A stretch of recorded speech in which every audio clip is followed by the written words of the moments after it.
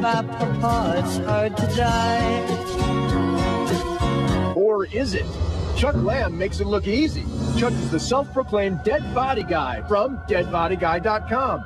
A guy who is literally dying to get into showbiz with the best reel ever. To think outside of the box, I had to think myself in the box. Get it?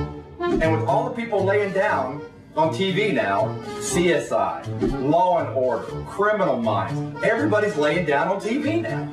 So it, it was natural to come up with a deadbodyguy.com. And so Chuck got his wife to shoot him uh, getting shot, getting crushed, getting hammered. This is the money shot. All right, now wait, let me get my good dead on. Ready? Scary, huh? And what's even scarier? It worked. After putting the pics on TMZ.com, Chuck got noticed big time, making appearances on The Today Show and even going international. Als Leiche.